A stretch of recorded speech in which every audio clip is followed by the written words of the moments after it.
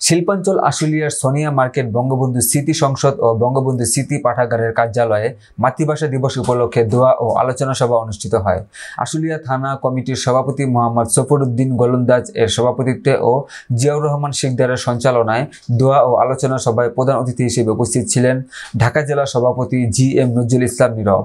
বিশেষ অতিথি মোহাম্মদ সাইফুল ইসলাম ভুইয়া, সহসভাপতি মোহাম্মদ মুজিবুর রহমান, মোহাম্মদ জহিরুল ইসলাম জহির সহ বঙ্গবন্ধু স্মৃতি সংসদ বঙ্গবন্ধু স্মৃতি পাঠাগারের কর্মীবৃন্দ। অনুষ্ঠান শেষে শহীদদের মাগফেরাত কামনায় বিশেষ দোয়া ও তোবারক বিতরণের মধ্য দিয়ে অনুষ্ঠান সমাপ্তি করা হয়।